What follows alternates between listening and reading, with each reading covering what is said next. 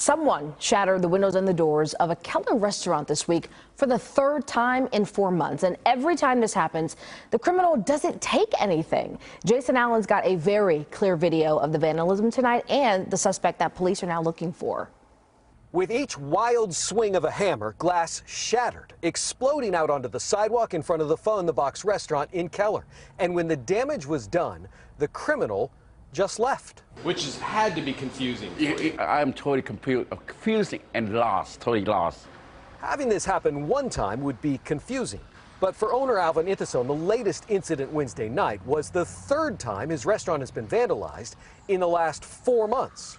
And it was the same thing, Same thing, same guy, same guy, broke the same windows. same thing. I never thought it gonna happen again. And I said, it, it is real in the city of Keller. Keller police told me they didn't have much to go on after the first break in. Some better images in July, and they're looking for more video from the area now, but do have a potential suspect, someone known to Inthison. They also told me there have been no similar crimes at any other businesses in the city. Inthison had to close down for 10 days after the last two incidents, but told me he can't afford to do that again, posting this today, assuring people he's open. When you see something like this happen, I, it just doesn't make any sense to me. Customers have been coming in to show their support, trying to make sure that whether the doors are glass or plywood, the restaurant stays open.